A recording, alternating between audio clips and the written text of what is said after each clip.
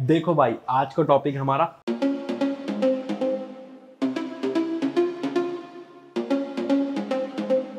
Problems. I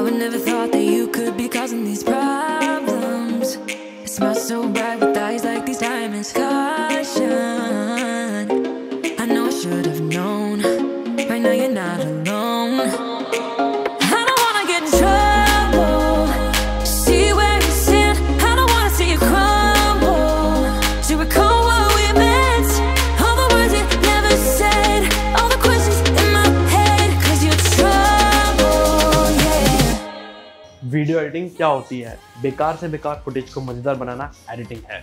और editing मदद से आप अपनी गलतियों को भी छुपा सकते हैं। आसान शब्दों में एडिटिंग को बोलते हैं हम जुगाड़। अब जैसा कि यही देख लो मुझे क्लोरिंग फैक्ट बनाना था। सो मैंने ब्लैंक शॉट के साथ पाँच डिफरेंट मॉडल शूट करे एंड देन सबको इंडिविजुअली मास्किंग किया। एंड रिज़ल्ट आपके सामने है।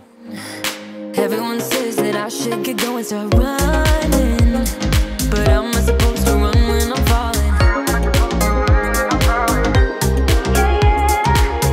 और अगर आप प्रॉब्लम सॉल्विंग में अच्छे हो तो आप इस खेल के असली खिलाड़ी बन जाओगे। Editing is like a game और आप इस गेम के अच्छे खिलाड़ी तब बनोगे जब आप इसके टूल से दोस्ती कर लोगे। ऐसा ही मेरे को पेड़ की मदद से मास्किंग करनी थी। फिर मैंने मिरर मैजिक भी किया। फिर मैंने क्लोनिंग फ्रेमिंग फैक्ट भी किया।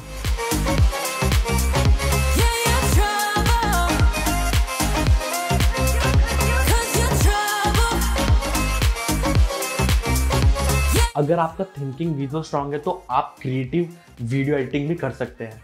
नहीं तो आप सीख भी सकते हैं अपना इंस्पिरेशन बना के। जैसे कि मैं बुक रीडिंग से सीखता हूँ क्रिएटिविटी बाकी कुछ प्लेटफॉर्म्स हैं, मैं वहाँ से सीखता हूँ लाइक पिन इंटरेस्ट मैं वहाँ से सीखता हूँ। और समटाइम्स हम अपनी इंस्पिरेशन कुछ क्रिएटर्स भी बनाते हैं। लाइक मेरी इंस्पिरेशन है Irfan Junejo Casey Neistat Nicholas कैमरे वाले भैया और ऐसे ही बहुत सारे क्रिएटर्स हैं जिनसे हम सीख सकते हैं और अपनी एडिटिंग को बेहतर से बेहतरीन बना सकते हैं.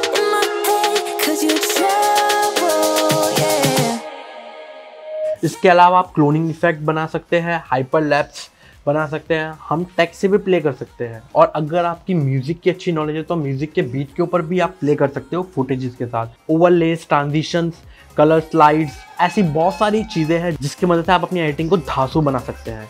लेकिन शर्त बस ये रहेगी कि आपका शॉर्ट सिलेक्शन अच्छा होना चाहिए, जो आपकी कटिंग स्टाइल है वो अच्छी होनी चाहिए और उस एक वीडियो के अंदर डिसेंट स्टोरी टेलिंग भी होनी चाहिए। तब ऑटोमेटिकली आपकी एडिटिंग धांसू हो जाएगी और जो आपकी फाइनल आउट होगा वो बहुत ही ज़्यादा अमेजिंग आएगा। बाकी इसको ब्रीफ में हम नेक्स्ट एपिसोड में जानेंगे और करेंगे कुछ धमाल एडिटिंग और मिलेंगे अब नेक्स्ट वीडियो में। Bye guys take care